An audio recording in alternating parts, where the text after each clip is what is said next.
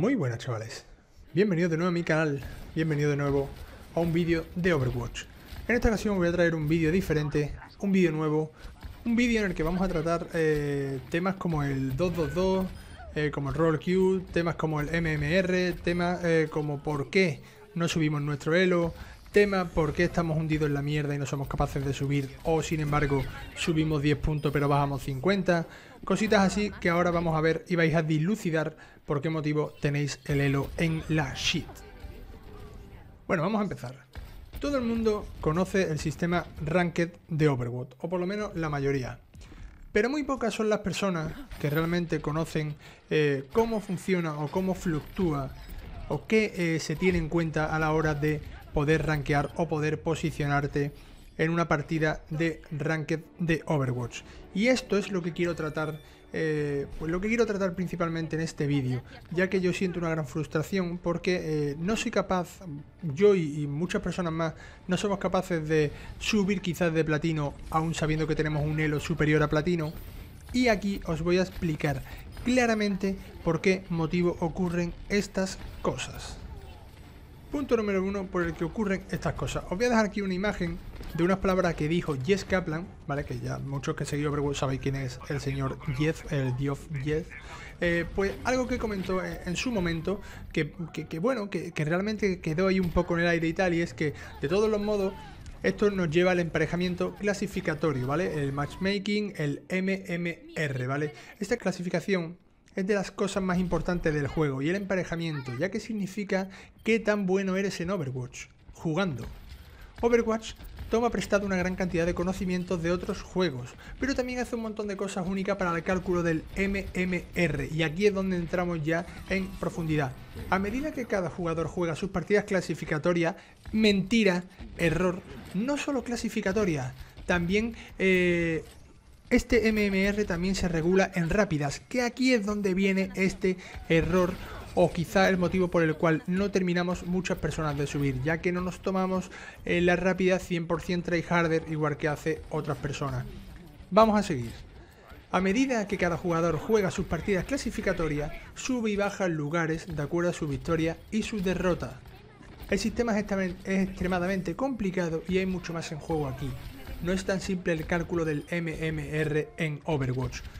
Dicho MMR se empieza a calcular desde el primer minuto que nosotros tenemos una cuenta. Es decir, desde la primera partida que echamos, desde el nivel 1 al nivel 25, están ya calculando y recalculando MMR. Ese como primer punto muy importante. Os voy a explicar algo eh, principal y fundamental que me ocurrió a mí.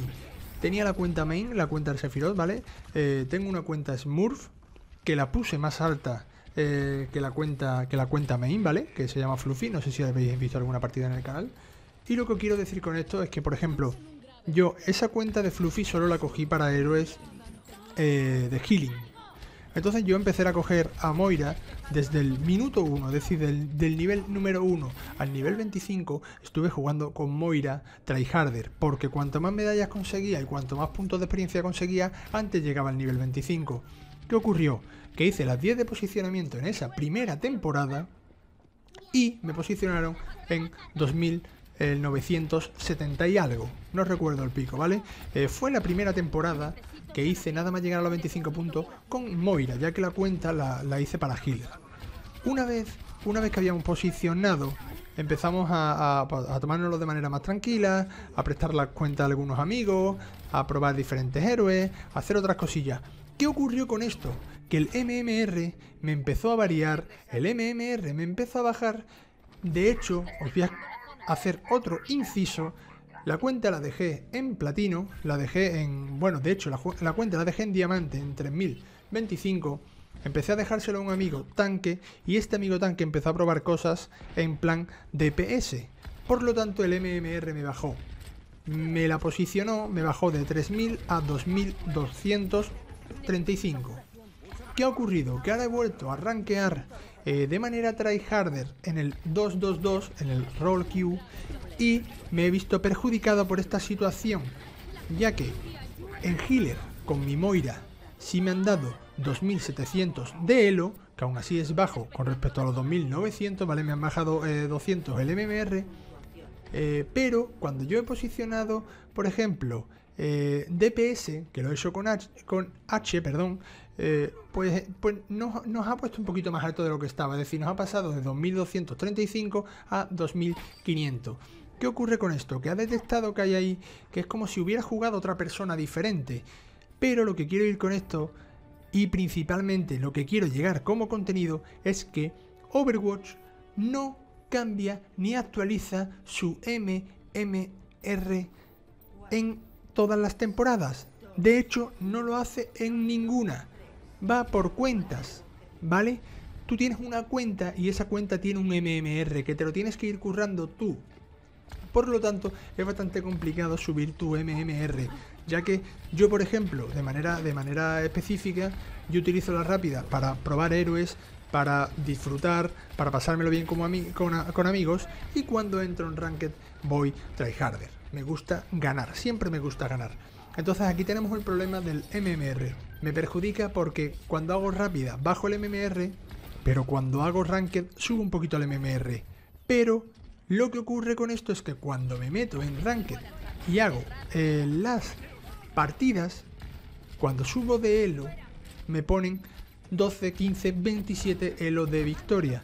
Pero cuando pierdo, pierdo 32, 35 o 47. Siempre pierdo más elo del que gano. En una partida eh, puedo ganar 25 de elo que si la siguiente la pierdo, pierdo 37. Siempre me ocurre. No sé si os ocurre a vosotros también. Es decir, por eso quería hacer este vídeo. Eh, para haceros esta aclaración de por qué ocurre esto y por qué es muy difícil que salgamos de esta mierda de elo en el que posiblemente pues estemos posicionados. Algunos no seáis capaces de salir de oro, otros no seáis capaces de salir de bronce, otros no seáis capaces de salir de plata, otros no lleguéis a platino, otros os quedéis ahí fluctuando por diamante. Pues es básicamente por este motivo que os estoy contando ahora mismo. Cuando os he comentado antes el tema del MMR, quería llegar a este punto. Al punto del roll queue, al punto del 222 y al punto de qué está ocurriendo.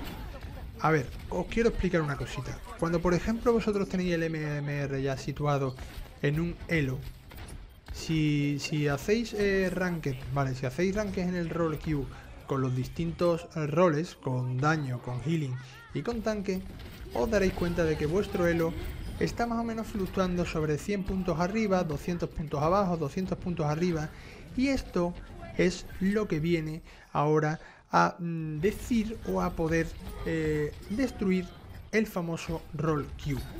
¿Por qué motivo? Porque hay gente que solo jugaba DPS. Si ahora quieren coger healer y le han dado un 3500 cuando realmente él sí es DPS 3500, esa persona va a throwear. Esa persona te va a reventar la partida. ¿Y por qué motivo te va a reventar la partida? Pues es muy sencillo. Esa persona quizás tenga un main, ya sea main healer, main tanque, main DPS. Entonces, suelo, suelo en, eh, suelo en su main, en su main eh, personaje, va a ser 3900 por ejemplo.